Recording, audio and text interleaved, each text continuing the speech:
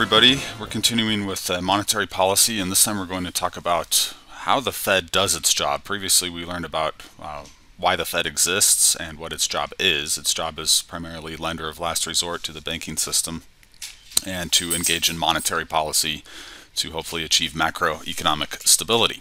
So how exactly does the Fed go about doing that? Well, we're going to talk about Fed's operating framework with regards to the target that they pursue and the tools that they use to pursue that target. The, there's been various targets that the Fed has pursued uh, historically, but the relevant one in our time is the uh, inflation rate. So this is called an inflation targeting system. And you'll recall we've talked previously about the Fed's dual mandate to keep uh, inflation low and stable and uh, maximize employment or maximize the sustainable real growth of the economy, which would presumably bring about full employment. So in order to do this, the Fed says, well, we're going to focus on the inflation rate. And since 2012, the Fed has explicitly targeted a 2% inflation rate in the personal consumption expenditures price index. The way the Fed goes about achieving its inflation rate target is through targeting interest rates, primarily short term, but uh, when times require, also long term interest rates. And we'll learn about this here. The Fed can manipulate the supply of funds in credit markets. If you think about that, what does the Fed primarily do? Well, it prints money or it issues money in the form of reserves into the banking system, and that can increase the supply of reserves that banks have to lend, and that could put downward pressure on interest rates. The Fed also has tools that can reduce the supply of funds, reserves in the banking system, and that would put upward pressure on interest rates. But it's basic supply and demand, so if we understand basic economics, it's not too difficult. You change supply, you can change the price. And then changing the price of credit or the interest rate will influence the growth rates of money and spending, also known as aggregate demand or total spending in the economy. And then that will influence inflation and real growth rates and we'll think about that with respect to the quantity theory of money equation mv equals py and then we'll talk just a little bit today about the tools that the fed uses to pursue these interest rate changes which are the mechanism that it uses to pursue its inflation rate target. So open market operations interest on excess reserves and uh, repos, which are basically just forms of lending or borrowing that the Fed engages in with banks. The Fed has several ways to add and subtract funds from the banking system to alter the supply of credit and move interest rates up or down where it wants them to be. Now we want to go into details about how interest rate targeting works, and the next topic then we'll need to explore is open market operations. So, when we're talking about how the Fed adjusts interest rates, we're going to start off with what's known as the conventional policy framework, and this is what the Fed actually did up until uh, late 2008 when the, the Great Recession really hit and the Fed had to the Fed found it necessary to change its operating procedures. And open market operations, or OMOs, as I sometimes refer to them, are the way the Fed did um, monetary control, but ultimately for the purpose of interest rate targeting. Okay, so the Fed can control the volume of reserves in the economy or the monetary base. And if those things are don't make sense to you, please go watch my video on um, on intro to monetary policy to get a, a, handle on how we think about the money supply. Uh, by controlling the volume of reserves in the monetary base, the Fed can move the policy target around, which is the federal funds rate. And again, in the other videos, you'll recall that that is the rate at which banks borrow and lend reserves from one another in order to meet their reserve requirements, which are established by the Fed. Fed provides liquidity to financial markets through open market operations that can be above and beyond uh, targeting its the federal funds rate. Uh, the Federal Open Market Committee, FOMC, is the entity of the Fed that sets the policy so when, when the Fed acts, it's really the open market committee of the Fed that's acting. And also you'll recall there that that consists of the up to seven members of the board of governors of the Fed and then five of the 12 regional Fed presidents, one of which New York is always on the open market committee and the other four rotate amongst the other 11 banks. So we start to get into some complicated numbers games here, but these are things you have to know right? The o, the FOMC is always the actor in open market operations. So we're going to have open market purchases and open market sales. The Fed, the FOMC will be the one doing the purchases or the Fed will be the one doing the sales when we're talking about open market purchases and sales. And simply put, when the Fed purchases, an open market purchases, the Fed is buying government bonds or, or treasury bills from banks that it deals with. And in open market sales, the Fed is selling government bonds that it holds in its own portfolio to banks that it deals with. Right now, let's start with open market purchases and see how these are going to impact the quantity of reserves in the banking system and therefore impact uh, the interest rates that banks will charge. The Fed buys treasury bills, right? Treasury bills, of course, are just short term government bonds, less than one year maturity. Open market purchases, the Fed is buying treasury bills from a network of banks which are known as the primary dealers. The, the New York Fed deals directly with uh, a, a, limited number of, of very large, very liquid financial institutions which are known as the primary dealers. The Fed's goal is to increase reserves and the monetary base and that's going to put downward pressure on the federal funds rate, FFR, which I'll show you how that works here in just a second. The, how, now, where does the Fed get the money to do open market purchases? Well, the Fed has the power to issue new money, right? It, the Fed can essentially print money. Now, it's not physically printing money when it does open market purchases. It's just creating new reserves in these primary dealers' accounts with the Fed but it's going to be effectively the same thing as if the Fed printed money and then sent runners over to the primary dealers' counters and and deposited those funds in the primary dealers' accounts in exchange for the the treasury bills going off the primary dealers' accounts and going to the Fed's accounts. Okay, so it's not physically printing money. Some there's some like ninnies who will say, well, the Fed's not really printing money. Well, no, they're not. They're just creating reserves electronically. But the uh, it's effectively the same thing as if they had printed money and then handed that cash over to the banks that they're dealing with. Okay, the open market desk is the entity that does this, and that's at the Federal Reserve Bank of New York. So you'll see that abbreviated like that. And the way they'll do this is they'll go and on a given day uh, they'll announce that they want to buy a certain amount of treasury bills from these primary dealers and then take offers. It's set up as an auction and they're going to place the um, purchases with those dealers who offer the lowest prices, the most attractive prices, right? The Fed's just not going to let these banks rip them off. The Fed's going to say who's going to offer us the most attractive prices. So it does this in an auction format until it reaches the target for the amount it wants to purchase. So for example, the Fed will say, we want to buy 10 billion in a certain type of treasury bills. You know, they'll, they'll ask for 60 day bills or 90 day or whatever. And they'll take uh, bids from possibly all of the primary dealers. Not all of them might have that particular maturity of treasury on hand, but you know, let's say three quarters of the primary dealers have that maturity. They'll say, here's what we would sell it to you for. And the Fed will say, okay, of the 10 billion we want, we got 30 billion offered. And here are the people who offered us the best price for the 10 billion we want. So that's the people who whom the Fed deals with. The primary dealers will always make a modest profit Otherwise, it wouldn't pay to deal with the Fed. They're not doing this for free. It's not a public interest thing. They're, they're doing it because they're going to have a little bit of a gain on um, these securities that they're selling. So they're happy to do it, happy to be the counterparty. Now, here's kind of a schematic of how open market purchases work. I've got the Fed right here. The Fed is saying, we want to buy treasury bills from one or several of the primary dealer banks. Okay, so in my example, the Fed is looking to buy $1 billion par value of treasury bills of a certain maturity. And let's say these bonds have a market value of, of 0.98 billion, which would be 980 million dollars. All right, and just for simplicity, I'll say that uh, the Fed is only going to deal with one of these banks. So Bank A might put a bid. Now they want to get more than 980 million. So let's say they, they offer them for uh, 1 billion, 1, 1,000 million. And Bank C says, we'll offer it to you for 1 0.01 million or you know, 1001 million. And Bank B says we'll offer to them to you for 990 um, million. So Bank B has the most attractive price from the standpoint of the Fed. The Fed doesn't want to needlessly spend an extra uh, 10 million here or 11 million on the purchase. So it's going to place the purchase with Bank B.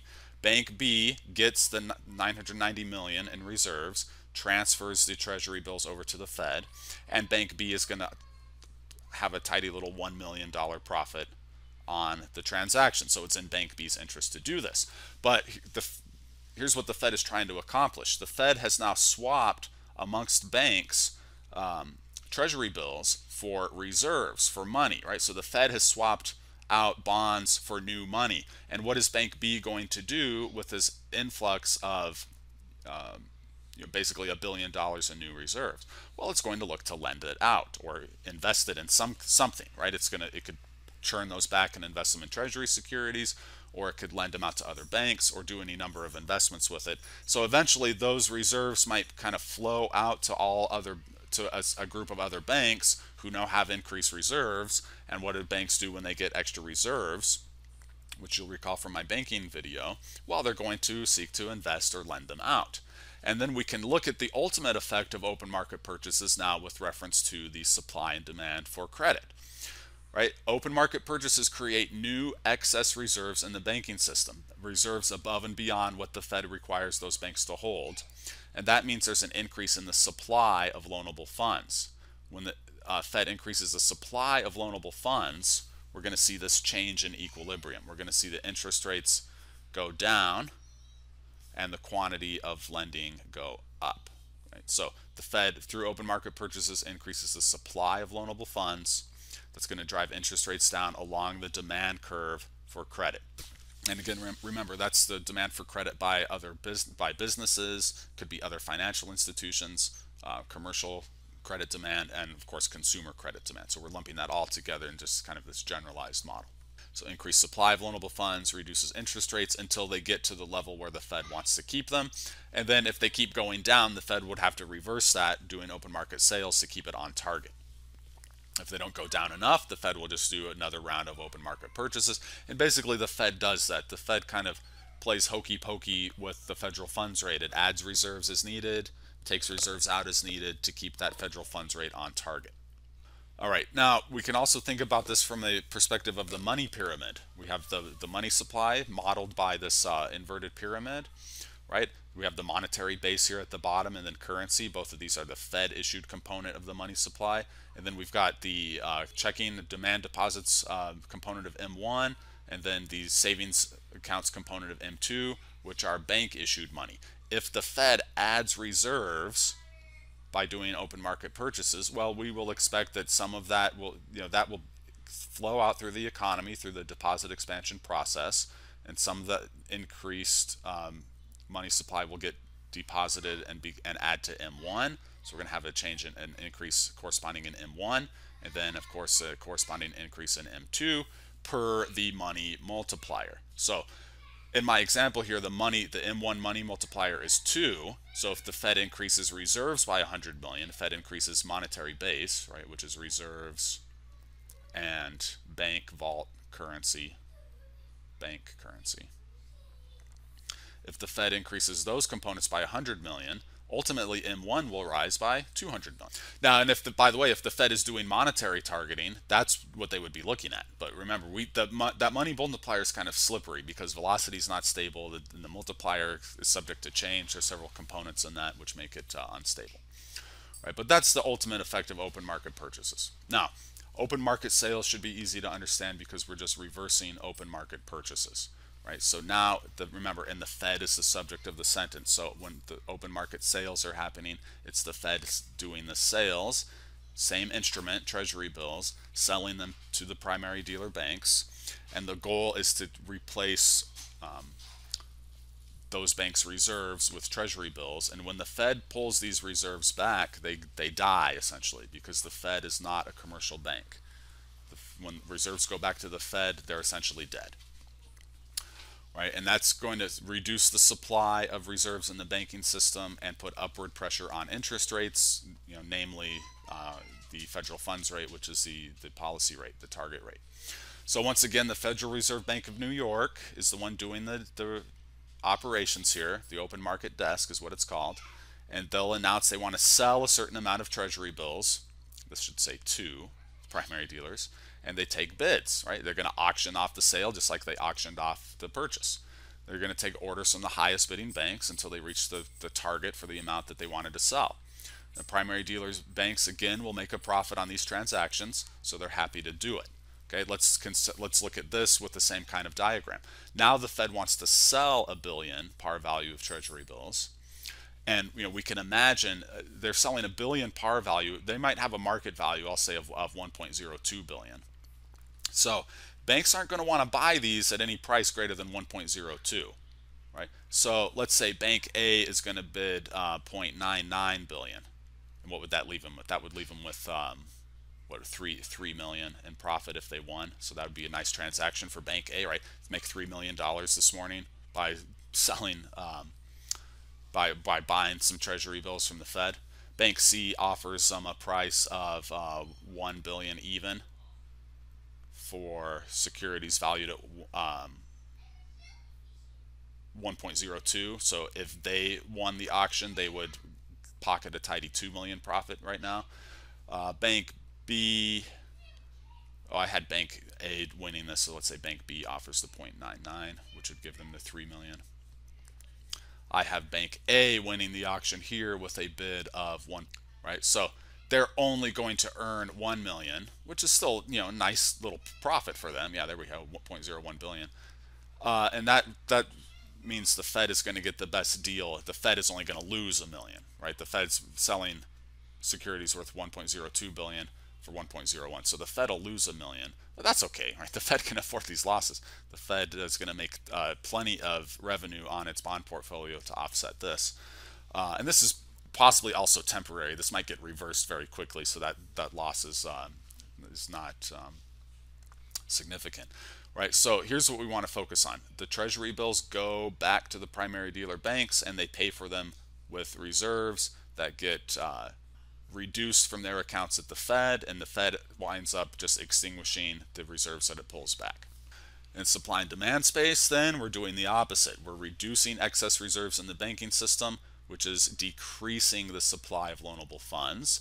And as you can expect, that's going to put upward pressure on interest rates and downward pressure on credit, credit uh, lending by financial institutions. So there's open market sales, and we can again think about this in, in relation to the money supply diagram. As a given money multiplier. If we had a reduction in reserves, if we had a reduction in reserves like this, so we, we slice off this chunk of reserves, well, per the multiplier, we would have a likewise reduction in M1 and M2. So the Fed can could trim the money supply if they wanted to. Now, uh, let me note here, let me be very careful to note the, the Fed never wants an outright reduction in the money stock. What they're uh, looking to accomplish with open market sales is directly they're looking to uh, increase interest rates, starting with the Fed funds rate and then trickling out from there. And what's going to wind up happening to the money stock is just a reduction in the growth rate. Right? The Fed is never looking for an outright reduction in the money stock. Why? Well, think back to the equation of exchange what would an outright reduction in the money stock uh, do? MV equals PY. If we had an outright reduction in the money stock, that would cause some deflation and some decline in economic growth because of the uh, sticky prices effect where you can't have the entire adjustment in money in inflation. Some of it has to be in output growth. That gets back to um, when we talk about the aggregate supply demand model back in macro. So if you're not familiar with that, I can uh, fill you in on that at uh, a later time. Never wanting a decline that would cause deflation. Why is deflation bad? It causes higher real interest rates. It reduces people's asset values and uh, businesses and households' net worth. Causes higher real debt burdens. All these things are bad. These are associated. This kind of stuff right here is associated with major economic depressions like we saw in 2009 and before that we hadn't really seen since you know 1930s right so that's bad and the Fed knows that it should avoid that at all costs so the Fed will use open market operations to adjust the total bank reserves in order to achieve the target for the Fed funds rate as we've just outlined.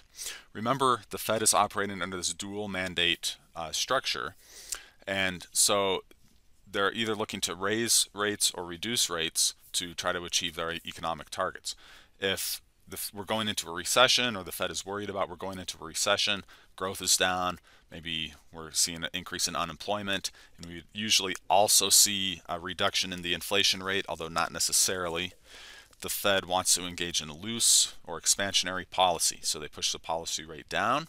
That increases the quantity of lending and borrowing, and of course, then spending and aggregate demand, and that'll trickle down and increase output, employment, and inflation. The economy should see a higher growth rate of money and total spending. Or actually, I'll just recommend you to one of my macro videos where you can think about the effects of this kind of policy through the aggregate demand framework. Okay, so Fed is cutting rates to try to stimulate more spending, lending, borrowing, and that should be expansionary, increase inflation and growth and employment. If inflation gets too high, then, and the economy is, quote, overheated, the Fed will do the opposite. They want to engage in contractionary or tight policy, push the policy rate up, which will ratchet down the growth rate of lending and spending, ratchet down the growth rate of aggregate demand, and ratchet down the inflation rate. Again, remember the Fed's never aiming for an outright reduction of any of these variables. We want to dial in the growth rate. If total spending is growing at 7%, we might want to dial that down to only grow at 5%. We never want it to decline because that would cause deflation, which can be very troublesome. All right, and then we can just recap with the supply and demand in the credit market. Here is open market sales. The Fed is selling bonds to the primary dealers, taking reserves from them. That reduces the supply of loanable funds. It's going to increase the interest rate and reduce at the margin the quantity of loanable funds of credit. And then vice versa if the Fed wants to reduce interest rates. Okay, so they will do the opposite. They will increase the supply of loanable funds through open market purchases. Fed buys bonds, gives banks fresh reserves, interest rates go down, quantity of lending and spending, borrowing, aggregate demand then goes up. Okay, so that's that's traditional monetary policy. Open market sales, open market purchase, Fed is doing this hokey pokey dance, putting the reserves in, taking reserves out, get the target interest rate where it wants it. Pretty straightforward, pretty easy. And uh, therefore, monetary policy was pretty straightforward and pretty easy up until 2008. Well, what changes in 2008? The Fed starts to do something that's called unconventional, sometimes called unconventional policy. It's not actually that unconventional in the grand scheme of things, but oh well, regardless, it's a term that's used. So the Fed faced an unusual situation in 2008 where classical monetary control, what we were just talking about through open market operations. The Fed wants to reduce interest rates uh, dramatically, especially once the recession hits and the Fed realizes that um, their policy stance had been too tight. They weren't offering markets enough liquidity. They were, weren't making it extremely easy for firms to borrow. And a lot of firms, both financial firms and, and other kind of firms and households, were facing extreme financial stringencies, collapsing asset prices, and a bunch of stress. So uh, a lot of people maybe needed credit, needed emergency lending, and this was happening at a time when banks were tightening up the amount of credit available because banks themselves were in trouble and banks were in a tightening mood. So the Fed realizes, oh boy, we better accommodate and provide liquidity and loosen monetary policy. And so they cut interest rates many times uh, rapidly in a, in a, row in late 2008. Uh, and some of the instances they dropped rates by 50 basis points, which is pretty uh, unusual. We're normally used to seeing the Fed do 25 basis point changes. Well, there's only so far you can cut interest rates. You cut interest rates until you get to zero, and this is known as the zero lower bound.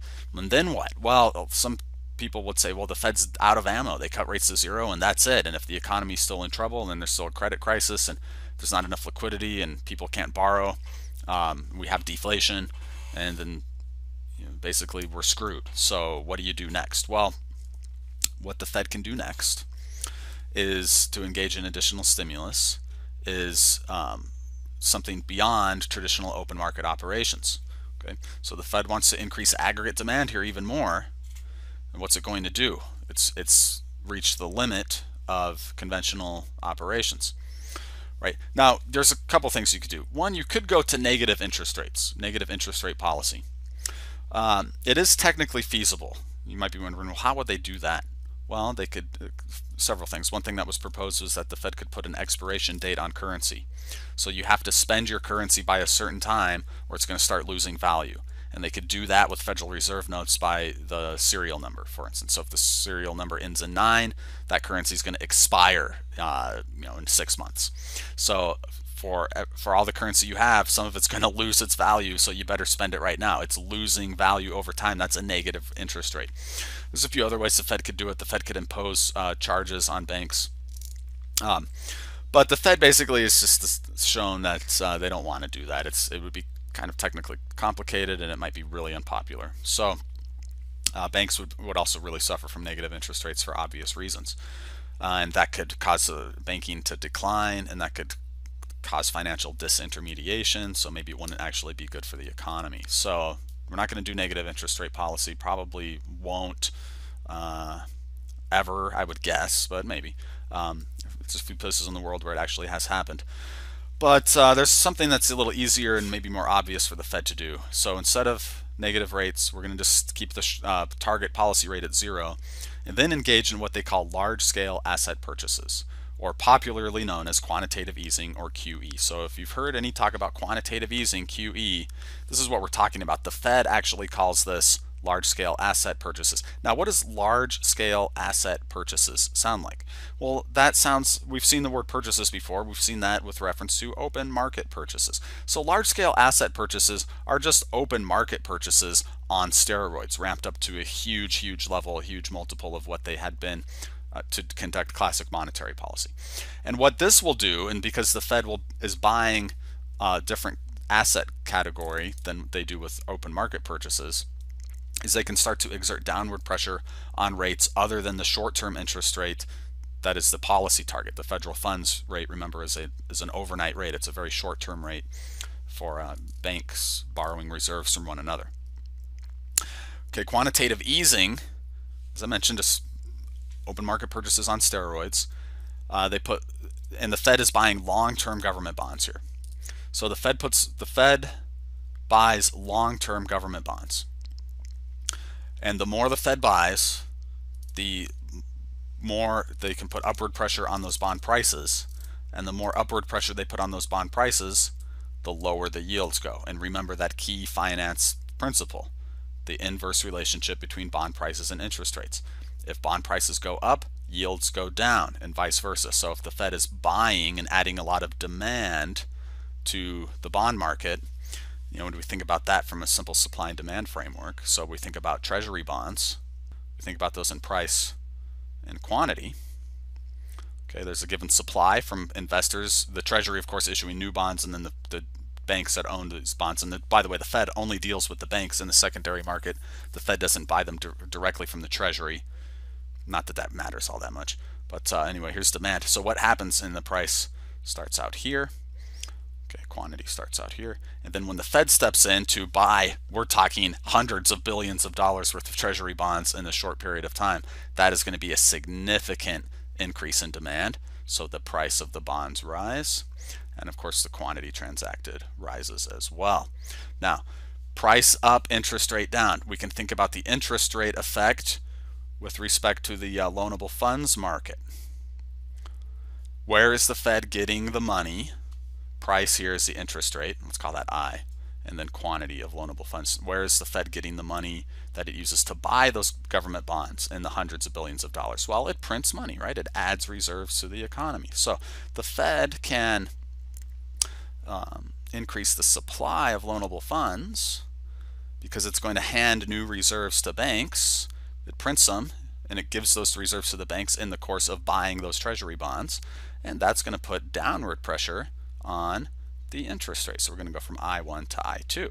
So it has the same effect. I mean, basically is the same tool as uh, open market purchases. It's just applied to a different category of bonds that are being purchased. And it's done in a much larger scale. The same exact effect. We push bond prices up, interest rates down and quantity of credit therefore can also rise Q1 to Q2. Okay, so it's actually not that difficult to understand if we understand the basic underlying economics here.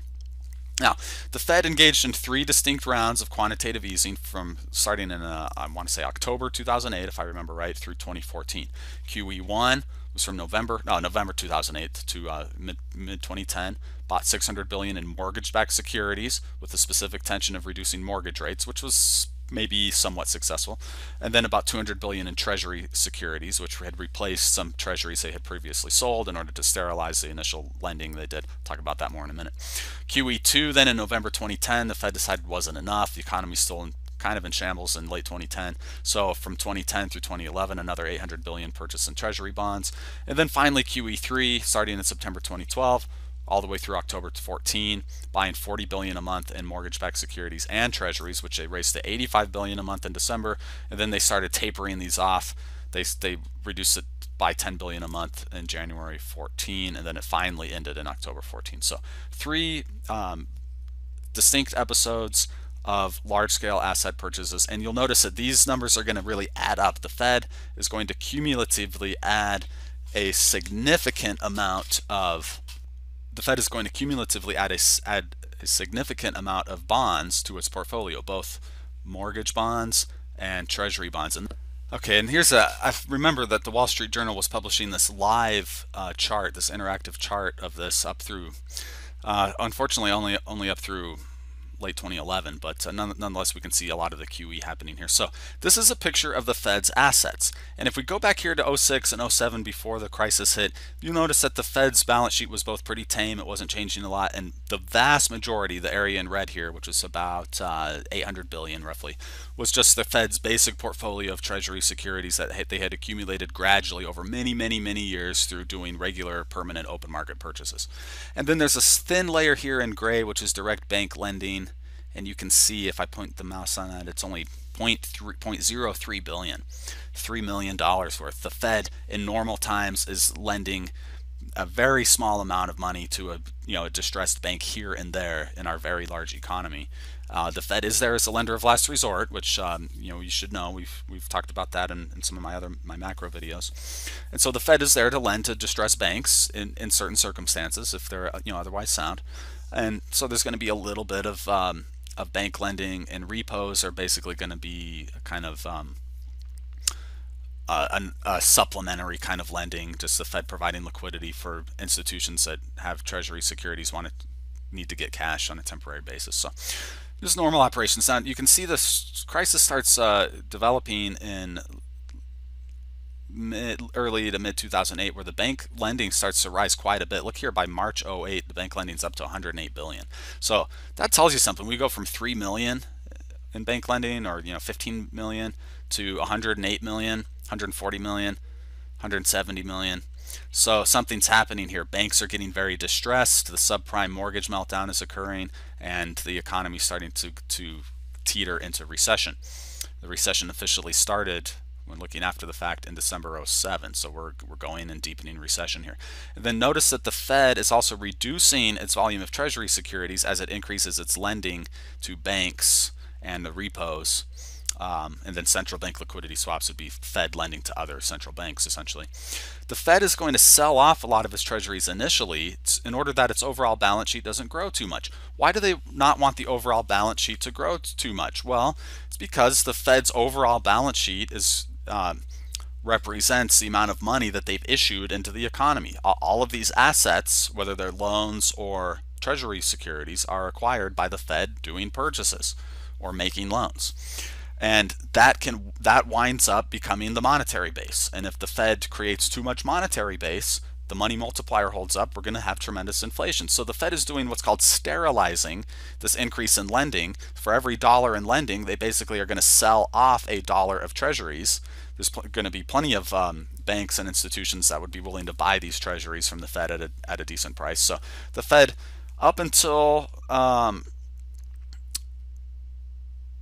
late 2008, here in September uh, 2008 or so, is very carefully and meticulously sterilizing all of its lending. So you notice there's not a net growth in the balance sheet. Now, things really go uh, go bad and go sour, and there's a real credit crunch in September 2008. So at the, that point, the Fed says, "Well, forget it. We've got to really increase lending." So notice what happens here.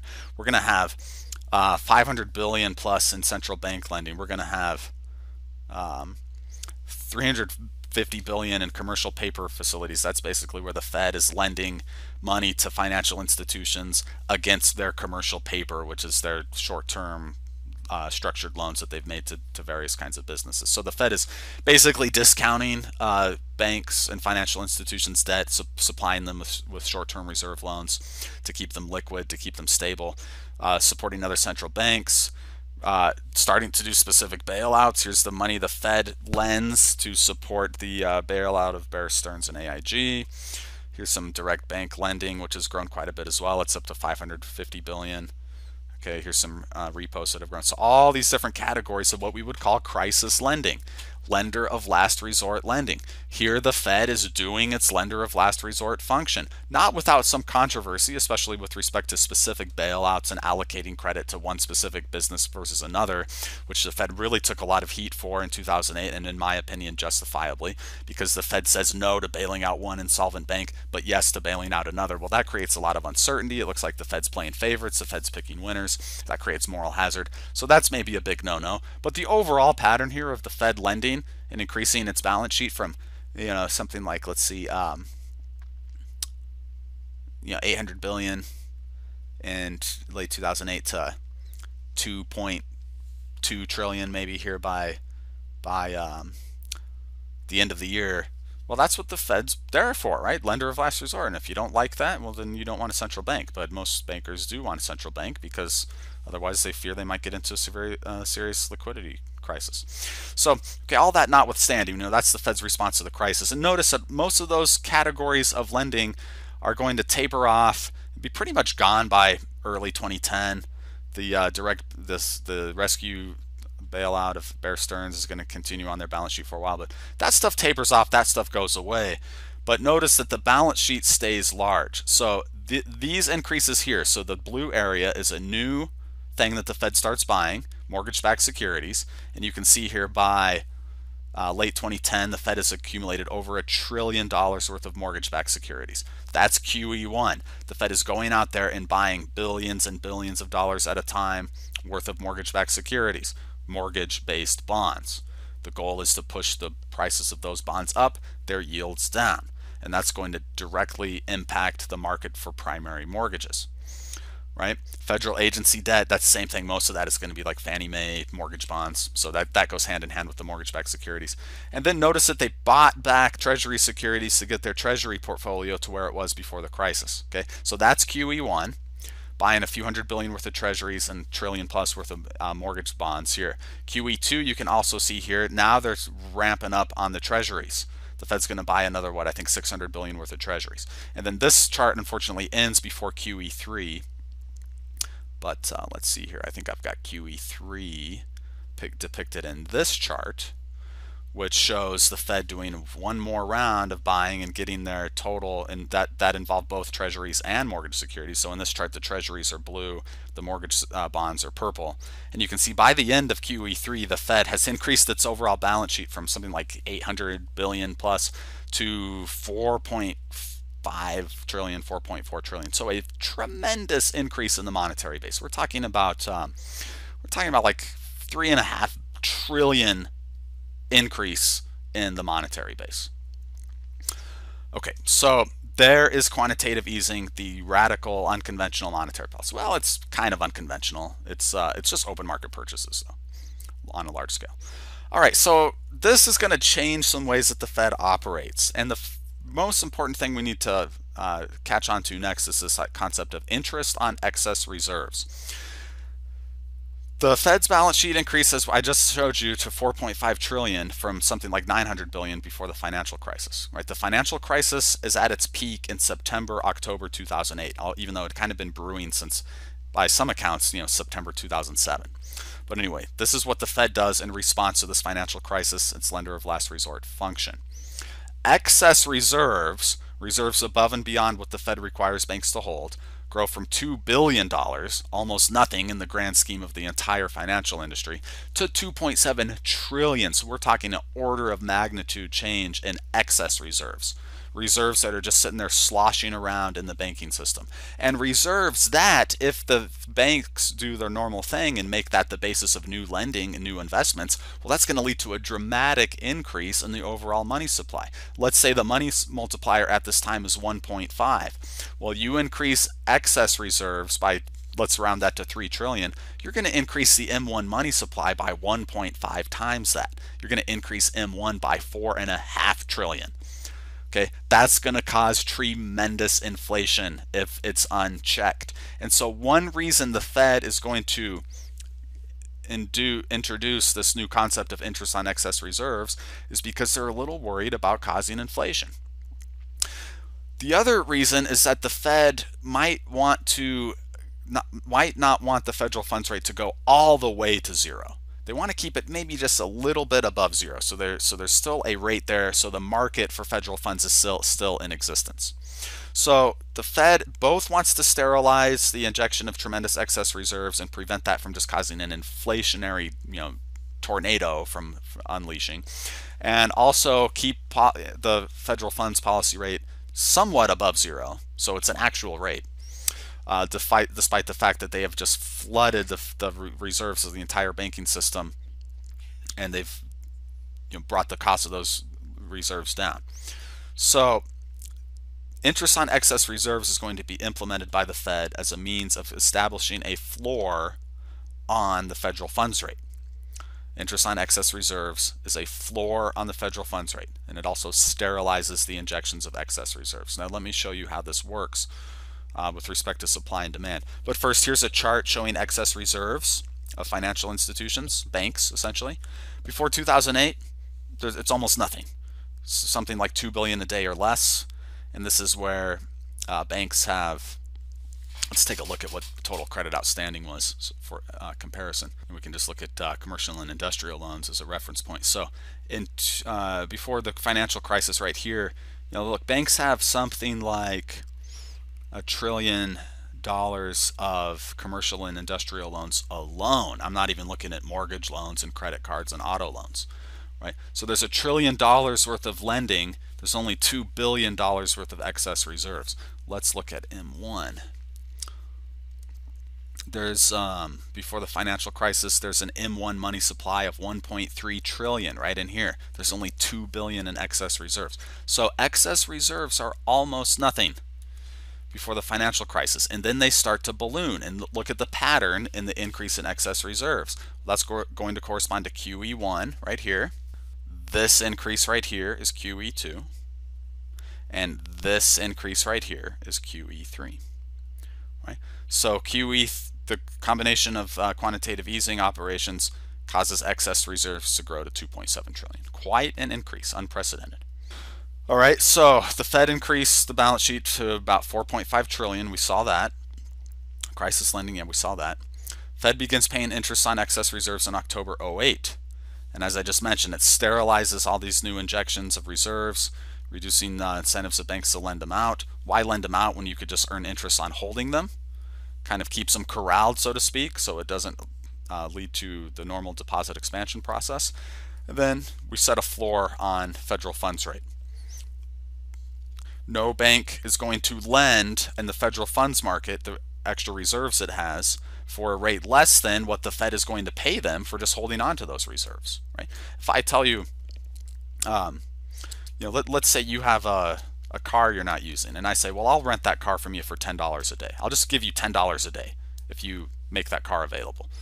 Well, if somebody else wants to rent the car from you, they're going to have to pay you more than 10 a day, right? Because I have guaranteed you for as long as you make that car available to me, I'll give you 10 a day. So if you're going to go rent it out on the market, you're going to need 15 or 20 bucks a day, right? So that's the idea that's going on here. If the banks want to rent out their reserves to other banks on the market, they're going to have to get a higher interest rate than the Fed is paying them for just parking them at the Fed. Okay, now changing the interest on excess reserves is then also going to become the main tool the Fed uses to raise interest rates. And the Fed started raising interest rates in December 2015 as part of the quote policy normalization process. They got rates up from near zero, about 18 or 20 basis points on the Fed, federal funds rate back in 2015, and they hit as high as about two and a quarter percent, 225 basis points at the beginning of 2018. And the way the Fed has been doing those rate hikes over the past about three years is by raising interest on excess reserves. Let me show you how this all works in a supply and demand scenario. So here is uh, our situation with the federal funds rate the, the and the loanable funds market or particularly the federal funds market before the financial crisis before quantitative easing. The quantity of reserves is a vertical line. It is it is dialed in by the Fed through open market operations. The Fed wants to reduce the policy rate. All they have to do is some open market purchases, crank up the quantity of reserves like that, OMP. Fed wants to raise the policy rate. Let's call that I3, I'll call that I2. The Fed just does some open market sales to drain some reserves and that can they can dial in the federal funds rate with a pretty high degree of precision. Uh, market forces might take it a little bit higher than they wanted it to go here. Well, then they'll just push it back. They'll just do some open market purchases to push it back a little bit. Market forces take it a little bit lower than they wanted to go here. Well, they'll just push it back the next day with some uh, additional open market sales, right? So the Fed can really fine tune and tweak this just by doing, you know, a fairly small amount of open market sales or purchases on any given day, maybe a few million, maybe a few, you know, maybe a billion dollars uh, at most. But now we've got 2.7 trillion dollars in excess reserves. So after QE, this is what has happened. Re excess reserves, reserves that banks might be willing to lend to one another, has just ballooned up to this insanely high level. So it's gone from $2 billion worth before to $2.7 trillion worth afterwards. And notice that the quantity now is going to be well past the, um, area where the or the, the spot where the demand for reserves hits zero, where the marginal value of reserves is zero on the demand curve. So what is the Fed going to do to keep the federal funds rate positive? Well, they're going to set a floor through interest on excess reserves.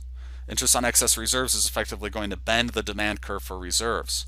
It's going to make it perfectly elastic at that interest on excess reserves. Okay. So if you can't get um, anything more, if you can't get an interest rate above the IOER rate, well, you'll just park as much reserves as you have at the Fed, as many reserves as they give you. How many reserves do they give you? Well, that's basically determined by how much QE they've done. So if the Fed kept doing QE, well, those reserves would just get parked at the Fed. Now, if the banks can get more than interest on excess reserves, they certainly would uh, would take it right? So let's say interest on excess reserves is 0.5%, and banks think they can get 0.75% in an equal risk loan, they might take it. But one thing you have to realize about interest on excess reserves is that there is absolutely zero risk here. This is it's in in a way it's lending the reserves to the Fed, but uh, there's zero risk. There's no way the Fed is going to not pay them back, right? The Fed can always create reserves to give them back when the banks need them. So this is what the interest on excess reserves has done. It's created a floor on the Fed funds market. And as long as the quantity of reserves, uh, excess reserves, remains at this artificially inflated level, even if it comes down by a trillion dollars, it's still going to be in the uh, range above where the um, demand curve for reserves is sloping down. So Fed is going to need to maintain interest on reserves to keep the interest rate from bottoming out at zero. There's some talk that if the Fed ever, ever actually normalizes its balance sheet and gets assets way back down and therefore excess reserves way back down to where they were before the crisis, well then we could go back to a point where the quantity of excess reserves intersects the downward sloping range of the demand curve and then we could go back to traditional open market sales and and purchases. But uh, that's the Fed has basically announced that that's not going to happen, and they're not going to do that. They're going to maintain this tool of using the interest on reserves rate to dial in changes in the in the policy target rate, the Fed, the federal funds rate target.